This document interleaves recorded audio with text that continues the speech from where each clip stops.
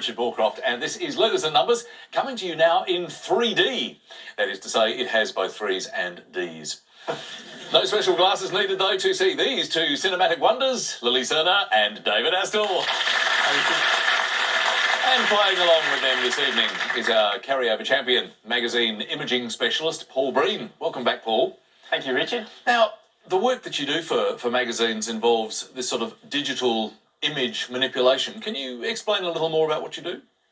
Yeah, well, we get images, and it's my job to make sure that once they get in the magazine, they look okay. So I might tweak the colours or, or change or remove backgrounds, um, things like that. Um, It's amazing and wonderful now how you can change images digital, isn't it? oh yeah, um, it, it's it's also a lot of fun. This the kind of software that I use is also the kind of software that I'll play around with at home as well. Excellent. Well, we'll certainly have some fun tonight. Welcome back. Thank you. And Paul's challenger is retired IT project manager Barry Cook. Hello, Barry. Hello, Richard. Now, IT, I mean, we're just talking about technology with Paul there now. Uh, Hasn't computer technology changed a lot since you became part certainly of the has. game? You know, having been involved in IT since about 1961, um, there has been a huge change in that time. In fact, uh, all um, everybody's laptop or um, uh, desktop is much more powerful than the original machines that I started to work on. Now, in fact, you were involved with something called a drum computer at one time. What, what was that? Well, rather than having um, memory which was core based, it actually had a revolving drum. And uh, the instructions to the machine were actually loaded through cards and stored on the drum. And as the drum rotated, it exposed the instructions to the machine to, ex- to have it execute uh, the program that you'd given it. So one of those just wouldn't fit in your mobile phone, let's Uh, face one of them would be lucky to fit in the studio. Welcome, Barry. Thank you. All the best tonight to our two contestants, Paul Breen and Barry Cook. Let's start the week with the letters game. 30 seconds, all you have to make the longest word possible from the selected letters using each one only once. And uh, Paul, carryover champion, do the honours, please. Thank you, Richard. Hi, Lily. Hi, Paul. I'll start with a consonant Sure. Let's start with S, and another B, and another H, and another, M, and we'll go a vowel O, and a vowel, I, a vowel, U, a uh, vowel, A, and I'll finish with a consonant. and last letter R. First clock of the week.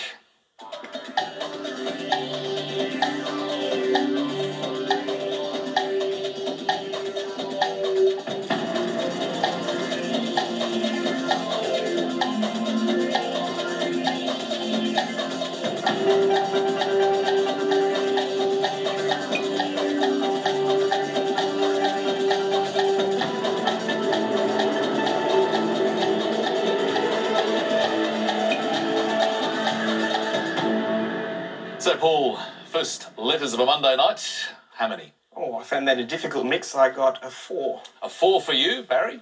Um, a six, Richard. Hold that for a moment, Paul. Let's go with that four. Mush. Mush. Mush indeed. Barry, what was yours? Ambush. Ambush. Well, I think that's what it was, David. Yeah, you've been ambushed, Paul. A great start, Barry. And sometimes the brain can be mush, just the uh, first game. Although my brain's a little bit like that drum computer, Barry. I'm just continually revolving letters instead of cards around. And I found a seven there, Richard, with rhombus, which is those uh, equilateral parallelograms, I think with oblique angles, as I, far as I understand it. I'm sure they have oblique angles. Sounds right. Well done, David. But uh, good start from Barry on this Monday night. Six points. Next letters, and uh, your first chance to choose, Barry. Could I have uh, a vowel, please? Sure. Let's start with E, E, And another vowel? O, And a consonant, please? T, And another consonant? N, And another consonant, please? K, And a vowel? A, And a vowel, please? E, And a consonant, please?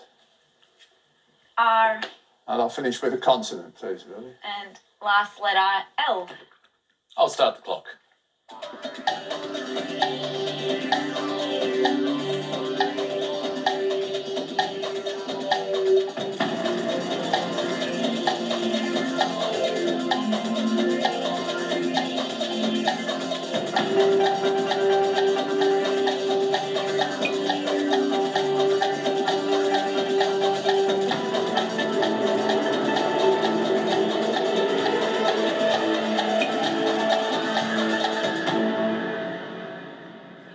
First ambush, Barry. How many letters this time? A, a seven, Richard. Seven for you, Paul. A six. Let's start there, please. Tanker. And yours, Barry? Eternal. Eternal.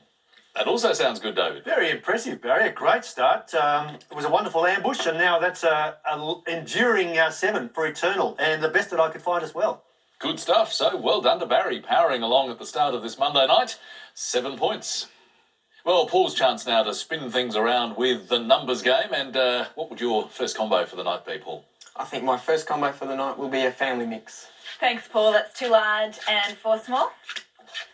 And the first numbers of the week eight, three, five, ten, and the two large, 25 and 75.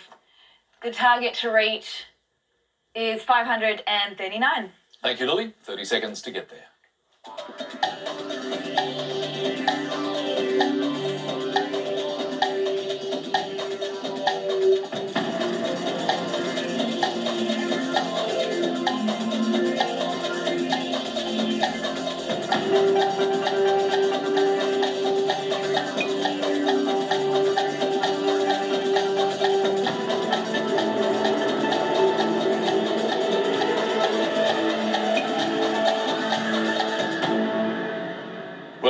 close were you with the first one?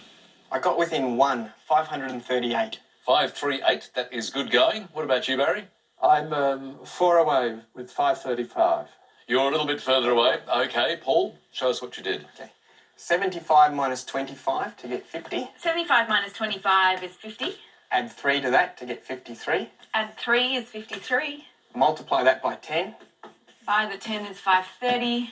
and add 8 to get 538. And the 8 is 538. So, very nice going, Paul. You're only one away. How did you go with this first one for the week, Lily? Well, reasonably well for a Monday anyway.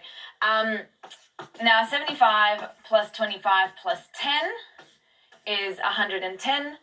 Um, 110 by the 5 is 550. And um, if you take away the 8 and take away the 3 is 539. That was lovely. You kind of seemed like you were working it through as you were going there. I think maybe the parachute hadn't fully opened. A little bit, yeah. but it did. And a great effort too from Paul, seven points. So he is now on the scoreboard. Barry's on 13, and we are heading for our first break for tonight. And your first word mix, and it is table ice. And your clue, oh, no sex please, we're British. See you after the break.